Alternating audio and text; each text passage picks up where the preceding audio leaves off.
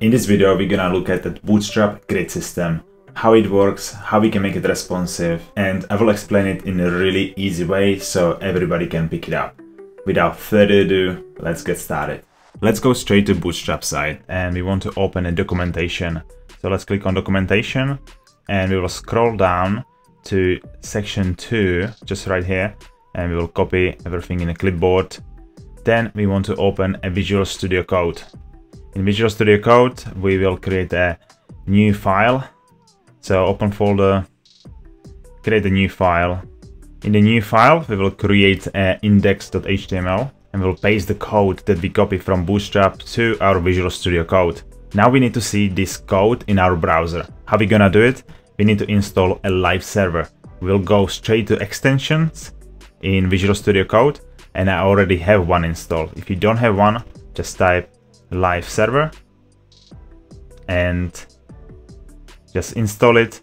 Once it's installed, then come back to index.html.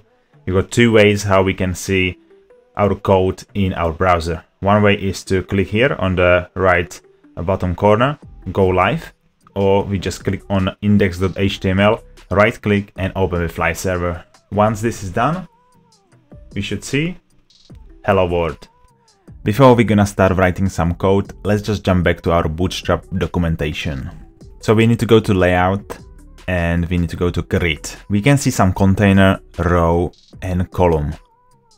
What is it? Bootstrap has a 12 columns. This is actually how much space we will define for every row. Imagine you want to add an image on the left side of your screen and on the right side you want to add some text. But you want your image to be just only half screen, you don't want the full width. Then we know that the full width has a 12 columns, so we will just use the 6 columns for our image and the rest we can keep for the text. We also need to mention rows and containers. The containers is just only wrap around the rows and columns, which is kind of necessary for Bootstrap. And rows are really necessary to hold our columns in a horizontal layout. Hope that's clear and let's just jump to the code.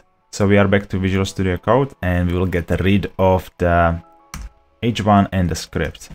What I will do is this is gonna be column 1 till column 12 and we will start with the container and in this example I will be using container fluid and because container fluid utilize the full width of the screen and then I will use row. As we mentioned, the row holds our columns and then I will use the column and I will give it a value of one only.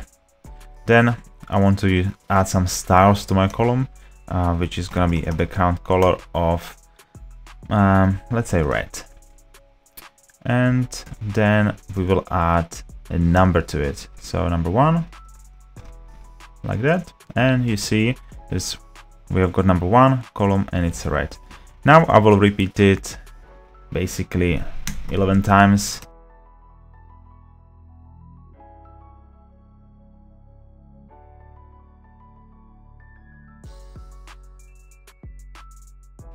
So we've got 12 columns and once I save it I can see I've got 12 columns so um, that's how Bootstrap works if we add another column which is gonna be 13 it will wrap below. So let's get rid of the column number 13. And I want to demonstrate the example that I mentioned before about the image and the text. I want the image on the left side and the text on the right side. How we can do it? It's pretty simple. So we'll start below and we'll start with the container fluid again. Great. Then we will add a row. And then we'll add a column and we will add number six and image. I'm just gonna add some dummy image to it. So I've got some just here. Oh, great. So source and the path. And now we have image on the left side. That's great. And let's add the text on the right side. So column 6 and then we will add some dummy text. Here we are. So we have got column 6 and then column 6 for the text. Let's just zoom in. Instance, we want to add some columns to the image. We can just simply replace the 6 with 8 and then we have to reduce the text to 4. Otherwise, I will just show you what would happen. Let's say we will keep the 6 in there. We will just wrap below because there is not enough space and as I mentioned, the Bootstrap has just only 12 columns. So let's bring it back. Let's bring it back to 6 and 6, half and half. And, and if I just zoom in, I'm just basically changing the width of the screen for smaller. So if I'm just zoom in, I can see that the image is overlapping the text and there is literally no space for the text to be there. And this is a big issue. How we can fix it? We can implement the Bootstrap variables. Let me demonstrate you.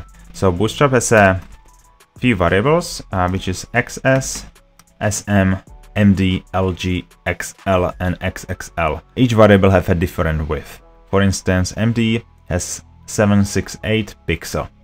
And let me just demonstrate you how we can use it. I will just copy the image and the text and I will just paste it below. So we have got fresh copy, which is gonna be just below the original one. Then, for instance, for the mobile or for the tablet size, we want to utilize for the image full width. So we will do XS 12. So it will take the full width of the screen. And the same we will do for the text.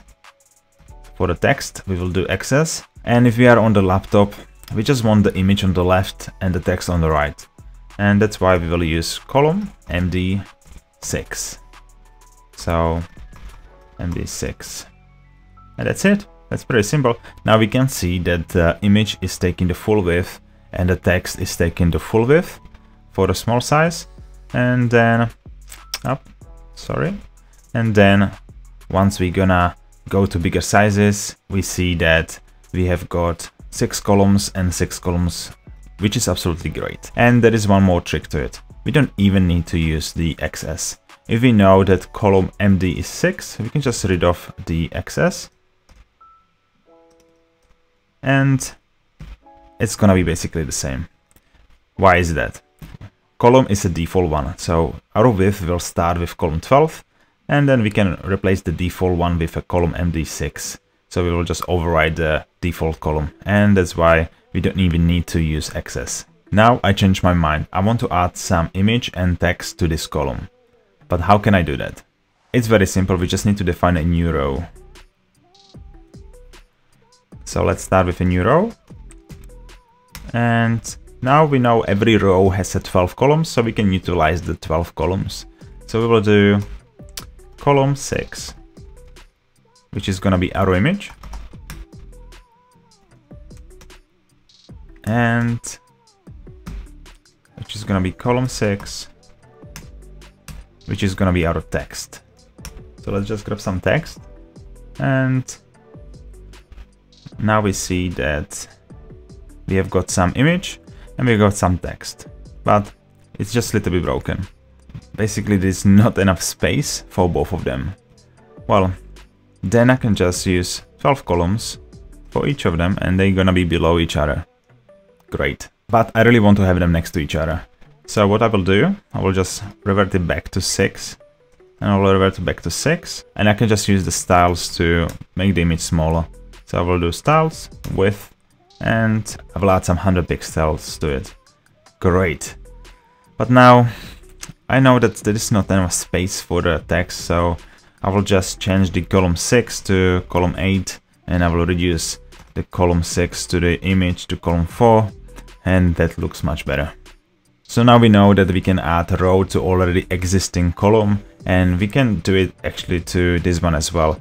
We know that we already implemented another row that we added image and we added text and we can do another one if we want. So we can implement another row and we can add another column which is gonna have size of 12 but we don't even need to add anything because the default will take the, the 12 columns anyway. And then we will add the image and that's pretty much it. Now it will take the, the full 12 column of this existing row that's everything for me and I hope you guys understood it and I will see you next time. Peace.